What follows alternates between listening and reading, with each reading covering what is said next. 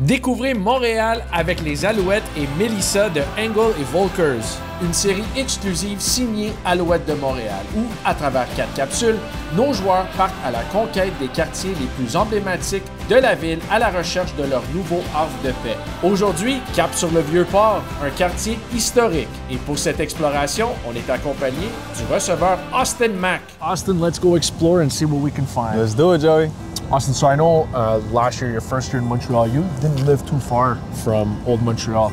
Uh, I'm just curious, what do you and your family enjoy about you know taking a stroll around here? You come down to Old Port, you know, the building's completely changed. It goes from a modern, you know, more like modern downtown to like you're in Old Port, like how the name literally is. If You feel like you're in, you know, a European uh, city, and I mean, it's absolutely beautiful. Um, I come down here all the time to go get some shop, uh, shops to, you know, get you know, food and walk around. You're making a big move. Uh, I know, like you started the year. Everybody knows you started the year with the Atlanta Falcons. Yeah. Um, you came back up to Montreal uh, last month, um, and you guys are making a big move. You're moving to Montreal full time. What kind of decision was that? Our family wanted to go all in. Couldn't just be a six months on, six months off.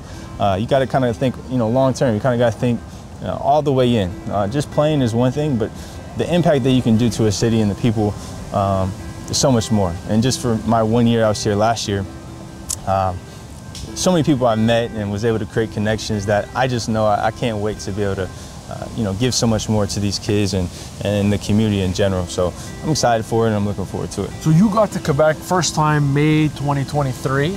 Yeah. Um, and I mean, you stayed through November. Uh, you won here. Uh, Yeah. You guys hoisted the Grey Cup. I'm just curious, what did Yeah. you learn about the people of Montreal and the province of Quebec? Because you guys, I mean, you guys went around Quebec quite a bit.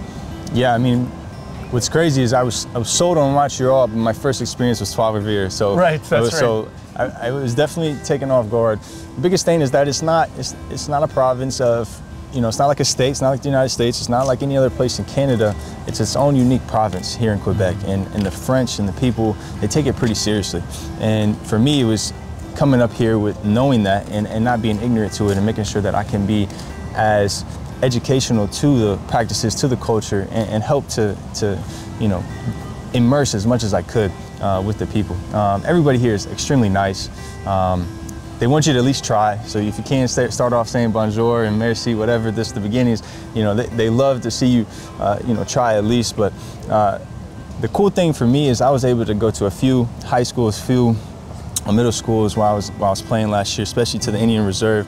And let's dive into uh, life in old Montreal. I want you to meet somebody who's going to show us around. Austin, I want to introduce you to our real estate expert, Melissa Fecteau. She's going to take us through old Montreal and all its charm and everything there is to do. Hi.